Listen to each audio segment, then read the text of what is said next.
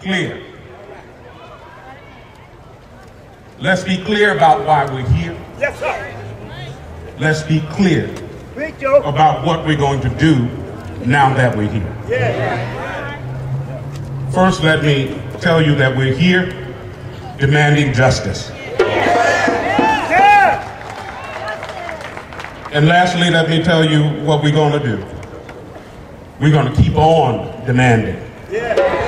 On Monday, on Monday, the House will begin deliberations on the budget. And on Monday, we want you to come and pack the hall.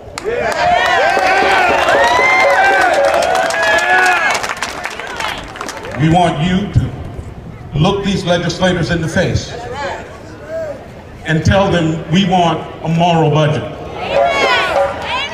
They need to hear from you and people like you. That's right.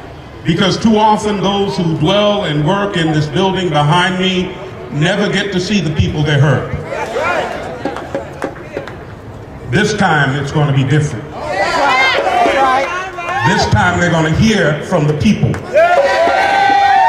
And I hope that you agree with me in saying that to those who say there is no use, that there's nothing that can be done, that things are going to be the way they're going to be, I hope you join with me in saying to them, that's a lie.